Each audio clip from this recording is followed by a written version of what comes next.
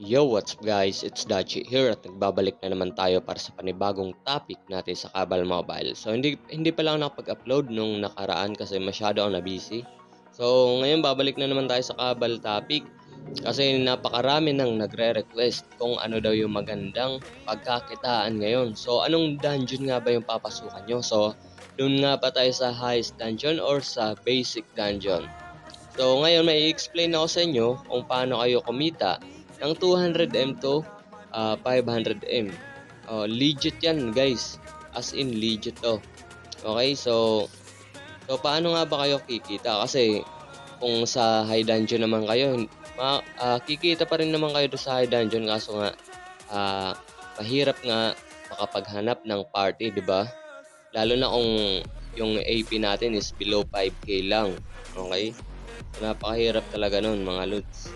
So, yung gagawin nyo guys, okay, uh, wait pala, uh, wait pala, uh, papakita ko muna pala sa inyo kung ano yung mga kailangan natin ipag-farm para kumita talaga ng malaki. So, ngayon, uh, itignan muna natin yung presyo ng item. Okay, so meron ako napansin ngayon. So, ngayon lang to, no? Kasi konti na lang yung nagpa-farm sa lowest dungeon. Kasi doon na lang sila nagpa-farm sa highest dungeon. So, ano yung mga pinagbago ngayon? Compare natin dati, okay? So, yung na, una kong napansin dito, dito sa, ano, uh, upgrade items, tapos slot extender, tapos uh, dito naman is slot extender set natin, tapos sa medium. Okay?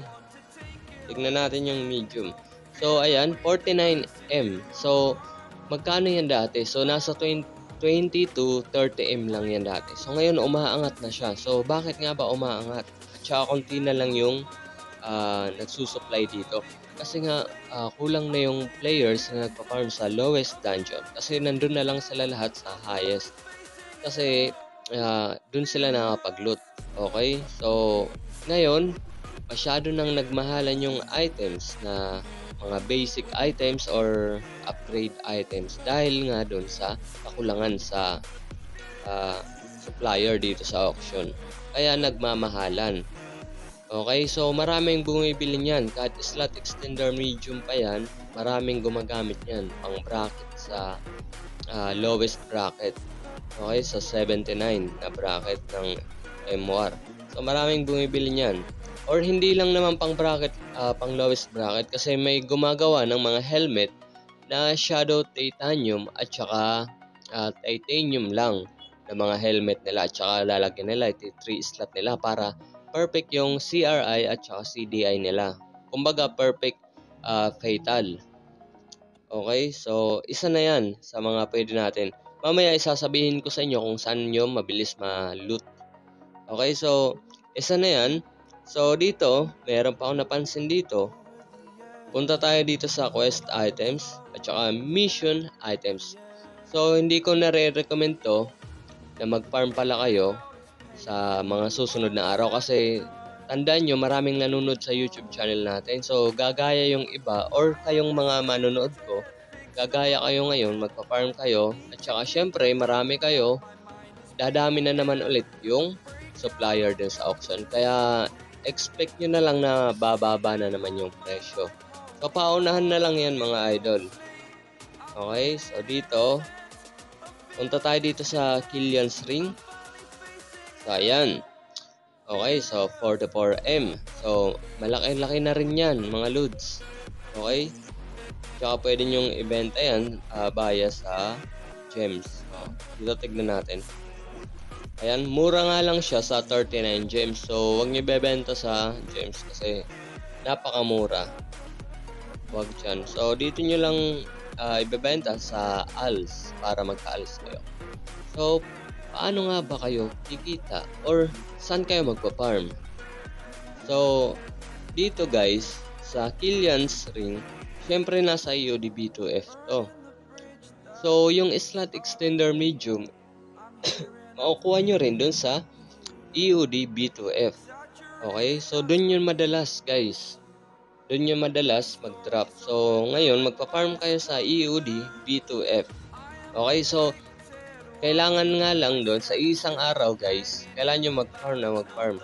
Ulit-ulitin nyo lang so makakarami kayo nito. Panigurado yan guys. Panigurado yan, magdadrop na magdadrop yan ng kill yan.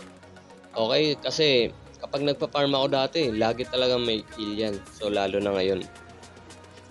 Okay, so maliban doon, pwede pa kayo makapulot ng slot extender highest tsaka slot extender medium. So yun yung habol natin, yung kill yan, uh, tonsil at saka slot extender medium.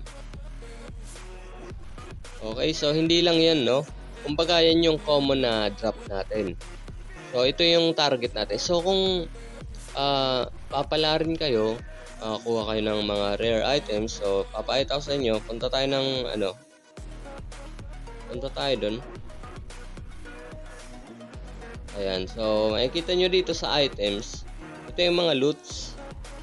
So maliban doon is pwede pa kayo makakuha ng uh, Astral Bike na RW3 at saka Type Blue. So, maliban dyan, mayroon pang slot extender high. So, which is, yun yung tinatawag natin na rare items. So, kumbaga, epic items yan. Kumbaga, sabihin na lang natin na yung slot extender medium at saka yung tonsil is pang common na lang natin, no? Kailangan nyo mag-farm. So, kung kaya nyo 50 runs eh, isang araw. Okay? Or mahigit pa. Kasi kayang-kaya naman yan eh, lalo na kung ma-fast farm nyo or fast run talaga. So, yun nga lang, yung kalaban natin dito is yung oras. Or kung may trabaho kayo, so pag uwi nyo na lang, mag-farm kayo. Or kung wala naman kayo trabaho, wala kang ginagawa.